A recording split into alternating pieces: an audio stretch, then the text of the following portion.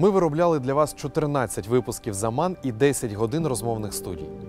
Ми робили це для того, аби ви знали про все, що відбувається в Криму. Постійні обшуки, затримання, вбивства, судилища. Ми повинні про це говорити, але не можемо. Сьогоднішні складнощі змушують нас зменшити кількість ефірів. Не дайте нам мовчати. Підписуючись на АТР, ви підтримуєте інформаційний спротив окупанту.